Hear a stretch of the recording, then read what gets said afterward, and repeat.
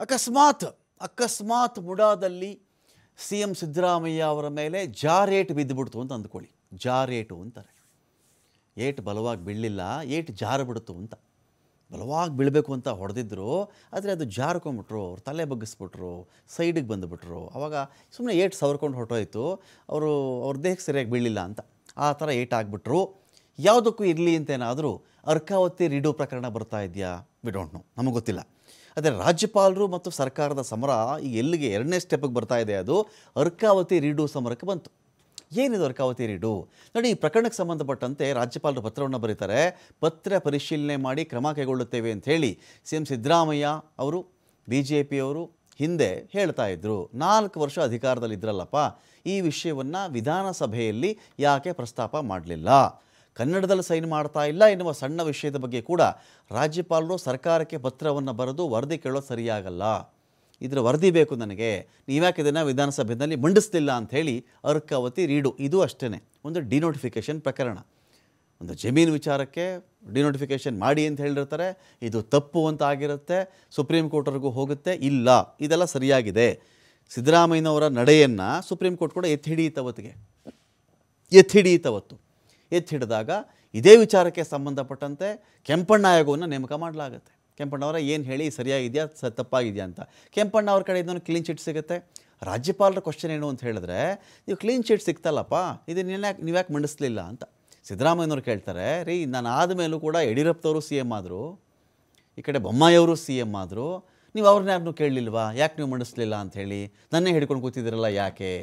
ಅಂತ ಕೂಡ ಒಂದಷ್ಟು ವಿಚಾರ ಇದೆ. ಇದೇ ಅರ್ಕಾವತಿ ರೀಡು ಪ್ರಕರಣಕ್ಕೆ ಸಂಬಂಧಪಟ್ಟಂತೆ ರಾಜ್ಯಪಾಲರಿಗೆ ಸಿ ಟಿ ರವಿ ದೂರು ಕೊಟ್ಟಿರ್ತಾರೆ. ನ್ಯಾಯಮೂರ್ತಿ ಕೆಂಪಣ್ಣ ಆಯೋಗದ ವರದಿ ಏನಿದೆಯೋ ಅದನ್ನು ಮಂಡಿಸಿ. ರಾಜ್ಯಪಾಲರು ಬಿ ಜೆ ಪಿ ದೂರಿನ ಮೇರೆಗೆ ನ್ಯಾಯಮೂರ್ತಿ ಕೆಂಪಣ್ಣ ಆಯೋಗದ ವರದಿ ಹಾಗೂ ಸಂಬಂಧಪಟ್ಟ ಕಡತವನ್ನು ಕೊಡಿ ಅಂತ ಸರ್ಕಾರಕ್ಕೆ ಪತ್ರವನ್ನು ಬರೀತಾರೆ.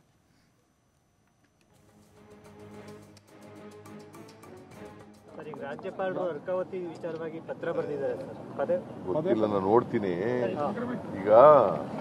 ಗೊತ್ತಿಲ್ಲ ಜೆ ಪಿಯವರು ನಾಲ್ಕು ವರ್ಷ ಇದ್ರಲ್ಲ ಯಾಕೆ ಬರ್ಲಿಲ್ಲ ಯಾಕೆ ಬರ್ಲಿಲ್ಲ? ಆಯ್ತಪ್ಪ ನಮ್ಮ ಅವಧಿ. ನೀವು ಇದನ್ನೇ ಪ್ರಶ್ನೆ ಕೇಳ್ತಾ ಇದೀಯ ನೀನು? See they're in power why they not place before the assembly?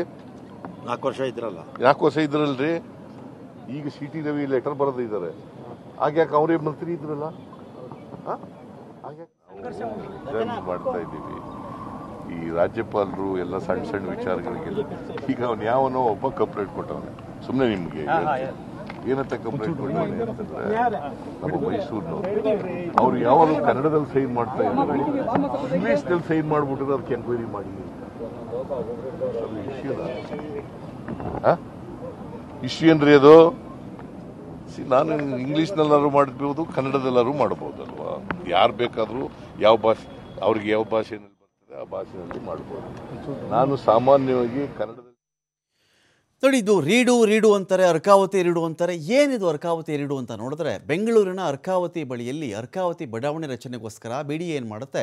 ಎರಡು ಸಾವಿರದ ನಾಲ್ಕರಲ್ಲಿ ಅಧಿಸೂಚನೆಯನ್ನು ಹೊರಡಿಸುತ್ತೆ. ಬೆಂಗಳೂರು ಬಳಿ ಅರ್ಕಾವತಿ ಬಡಾವಣೆ ಮಾಡಬೇಕು ಅಂಥೇಳಿ B D A two thousand ಫೋರಲ್ಲಿ ಅಧಿಸೂಚನೆ ಹೊರಡಿಸುತ್ತೆ. ಎರಡು ಸಾವಿರದ ಏಳ್ನೂರ ಐವತ್ತು ಎಕರೆ ಜಮೀನದು ಇದರ ಸ್ವಾಧೀನ ಆಗಬೇಕು ಅಂತೇಳಿ ನೋಟಿಫಿಕೇಶನ್ ಹೊರಡಿಸುತ್ತದು. ಬಿ ಡಿ ಎ ಸಾವಿರದ ಒಂಬೈನೂರ ಹತ್ತೊಂಬತ್ತು ಪಾಯಿಂಟ್ ಒಂದು ಮೂರು ಎಕರೆ ಜಮೀನನ್ನು ಸ್ವಾಧೀನಪಡಿಸ್ಕೊಳ್ಳುತ್ತೆ ಇದರಲ್ಲಿ ಸಾವಿರದ ನಾನ್ನೂರ ಐವತ್ತೊಂಬತ್ತು ಪಾಯಿಂಟ್ ಮೂರು ಏಳು ಎಕರೆ ಇರುತ್ತಲ್ಲ ರೈತರ ಭೂಮಿ. ಹಾಗೂ ನಾನ್ನೂರ ಐವತ್ತೊಂಬತ್ತು ಎಕರೆಯಷ್ಟು ಭೂಮಿ ಇರುತ್ತಲ್ಲ ಸರ್ಕಾರಿ ಭೂಮಿ ಇರುತ್ತೆ. ಭೂ ಸ್ವಾಧೀನ ಅಕ್ರಮ ಡಿನೋಟಿಫಿಕೇಶನ್ ಆರೋಪ ಕೇಳಿ ಬಂದುಬಿಡುತ್ತೆ. ಅಕ್ರಮವಾಗಿ ಅವರು ಡಿನೋಟಿಫೈ ಮಾಡಿದ್ದಾರೆ ಇದನ್ನು ನಿಯಮ ಉಲ್ಲಂಘನೆ ಆಗಿದೆ ಅಂತ. ಹೈಕೋರ್ಟ್ ಏನು ಮಾಡುತ್ತೆ? ಸಂಪೂರ್ಣ ಭೂ ಸ್ವಾಧೀನವನ್ನೇ ವಜಾ ಮಾಡಿಬಿಡುತ್ತೆ.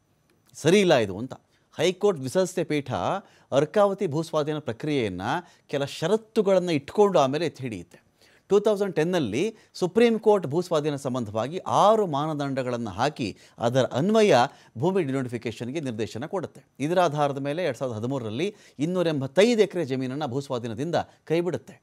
Two thousand fourteen B D A ಮರುವಿನ್ಯಾಸ redesign ಮಾಡುತ್ತೆ ಅದನ್ನು. ಅಧಿಸೂಚನೆ ಹೊರಡಿಸುತ್ತೆ. ಆದರೆ ರೀಡು ಹೆಸರಲ್ಲಿ ಸುಪ್ರೀಂ ಕೋರ್ಟ್ ಹಾಗೂ ಹೈಕೋರ್ಟ್ ಮಾನದಂಡವನ್ನು ಉಲ್ಲಂಘನೆ ಮಾಡಿ ತಮಗೆ ಬೇಕಾದವರಿಗೆ ಜಮೀನು ಕೊಟ್ಟುಬಿಟ್ರು. ಡಿನೋಟಿಫಿಕೇಷನ್ ಮಾಡಿದ್ದಾರೆ ಅಂತ ಆರೋಪ ಕೇಳಿಬರುತ್ತೆ. ಸುಮಾರು ಐನೂರ ನಲವತ್ತೊಂದು ಎಕರೆಗಿಂತ ಅಧಿಕ ಜಮೀನನ್ನು ನಿಯಮವನ್ನು ಉಲ್ಲಂಘನೆ ಮಾಡಿಕೊಂಡು ರೀಡು ಹೆಸರಲ್ಲಿ ಡಿನೋಟಿಫಿಕೇಷನ್ ಮಾಡಿದ್ದಾರೆ ಅಂತ ಆರೋಪ. ಬಿ ಜೆ ಪಿ ಈ ಕಂಪ್ಲೇಂಟನ್ನು ಮಾಡುತ್ತೆ. ಆಗ ಸಿ ಎಂ ಆಗಿದ್ದಂಥ ಸಿದ್ದರಾಮಯ್ಯ ಅವರು ರಾಜೀನಾಮೆ ಕೊಡಬೇಕು ಅಂತ ಆಗ್ರಹ ಮಾಡ್ತಾರೆ. ಈ ಹಿನ್ನೆಲೆಯಲ್ಲಿ ಆಗ ಸೇಮ್ ಏನು ಮಾಡ್ತಾರೆ ಸಿದ್ದರಾಮಯ್ಯ ಅವರು, ನಿವೃತ್ತ ನ್ಯಾಯಮೂರ್ತಿ ಎಚ್ ಎಸ್ ಕೆಂಪಣ್ಣ ನೇತೃತ್ವದಲ್ಲಿ ಒಂದು ನಿಯೋಗವನ್ನು ರಚನೆ ಮಾಡ್ತಾರೆ. ಟೂ ತೌಸಂಡ್ ಸೆವೆಂಟೀನಲ್ಲಿ ಕೆಂಪಣ್ಣ ಆಯೋಗ ಸಾವಿರದ ಎಂಟುನೂರ ಅರವತ್ತೊಂದು ಪುಟಗಳ ವರದಿಯನ್ನು ಸಲ್ಲಿಸಿ ಕ್ಲೀನ್ ಚೀಟ್ ಕೊಟ್ಟುಬಿಡುತ್ತೆ. ಪ್ರಶ್ನೆ ಏನು? ಚೀಟ್ ಕ್ಲೀನ್ ಚೀಟ್ ಕೊಡ್ತಲ್ಲ ಸ್ವಾಮಿ, ನೀವು ಯಾಕೆ ಆ ಒಂದು ವರದಿಯನ್ನು ವಿಧಾನಸಭೆಯಲ್ಲಿ ಇಡಲಿಲ್ಲ ಅಂತ? ಈಗ ಅದು ಮತ್ತೆ ಚಾಲನೆಗೆ ಬಂತು. ಸಿದ್ದರಾಮಯ್ಯನವ್ರು ಕೇಳ್ತಾರೆ, ರೀ ನಾನು ಅವಾಗ ಮುಖ್ಯಮಂತ್ರಿ ಆಗಿ ಹೋದ್ಮೇಲೆ ಇದೇ ಬೊಮ್ಮಾಯಿ ಅವರು ಆದರೂ, ಯಡಿಯೂರಪ್ಪನವರು ಆದರೂ ಕುಮಾರಸ್ವಾಮಿ ಅವರು ಆದರೂ, ಇವರೆಲ್ಲ ಯಾಕೆ ರೀ ಇವರೆಲ್ಲ ಯಾಕೆ ಮಂಡಿಸ್ತಿಲ್ಲ ಇದನ್ನು? ವೈ ಏನು ಪ್ರಾಬ್ಲಮ್ ಇತ್ತು ಅಂತ ಸಿದ್ದರಾಮಯ್ಯನವರ ಕ್ವಶನ್